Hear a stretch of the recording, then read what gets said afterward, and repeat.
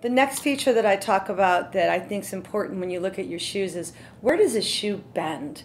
So I'm going to test all these shoes and you'll see the difference. So if I look at this shoe, I want my shoe to bend where my toes are forming there. So if I take a step and I go to push off, that's where it should bend.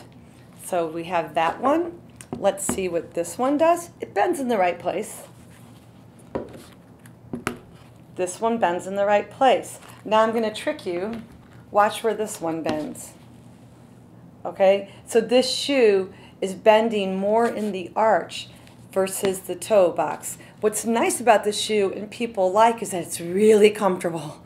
It feels like you're walking on clouds, but there's not a lot of support. So you trade off the support for that cushiony feel, but it bends in the arch.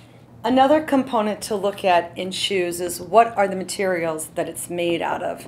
They can be made out of leather, man-made materials, mesh, nylon. Um, this running shoe happens made out of a lot of mesh. It's like a sock, so it's really comfortable. My foot can just spread out in the shoe, but once again, not a lot of stability.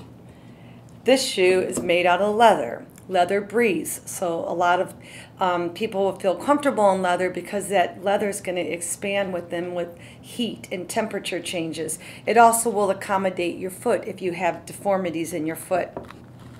This shoe is more of a man-made material, so it's going to be stiffer and not as accommodating to a deformity. And then the last part of the shoe that's important that you see in um, dress shoes, and this shoe just happens to do it, is you talk about being able to take out the insole of a shoe. So most of our athletic shoes will always have an insole that comes out like this. Um, it's important if you're going to be getting orthotics that you can take that, or, that insole out so that the orthotic fit. Um, the other part of the shoe then is the outsole. So you have an insole and outsole, and the outsole can be made of leather, rubber, um, man-made materials. Your running shoes might have treads on them. So we always look at the outsole of the shoe to see what kind of, if you're going to be working on a different surface, if you're working on marble floors all day or concrete, you might want something that has um, some cushion to it. The other thing um, I think is tricky with shoes that people don't really realize is that they may think, oh, this shoe is horrible. Let's show you this one. Look how high this shoe is. So you might think this is a horrible shoe for someone to wear. However, it has a nice wide heel, which gives more support than, well, actually, this one's pretty nice too, the wide. But what's nice about this shoe is it also has a heel counter and it has that square toe.